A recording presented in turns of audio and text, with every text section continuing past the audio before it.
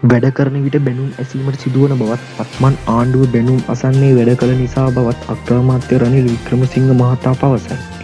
එසේම තමන්ට රට බෙදීමට අවශ්‍ය නොම ඇති බවත් අනාගත පරපුර වෙනුවෙන් රට ගොඩනැගීමට අවශ්‍ය බවත් ඔහු සඳහන් කළේ. දෙමට ගොඩ නිවාස සංකීර්ණ විත්ත කිරීමේ අවස්ථාවට එක්කමින් ඔහු හේ බව ප්‍රකාශ කළේ. එහිදී ඒ මාතා මෙසේ අදහස් දැක්කේ. රටේ ජනතාව බින්දු දුක මම හොඳින් අවබෝධ කරගෙන සිටිනවා.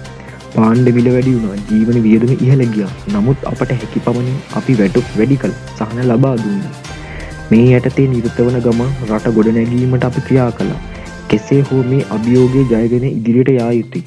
අපේ විරුද්ධවාදීන්ට රටේ ප්‍රධාන ප්‍රශ්නවලට විසඳුම් නොමැති නිසා රට බෙදනවා. රට බෙදනවා කියා ජනතාව මුලා කිරීමට උත්සාහ කරනවා. මට රට බෙදන්න අවශ්‍ය නැහැ.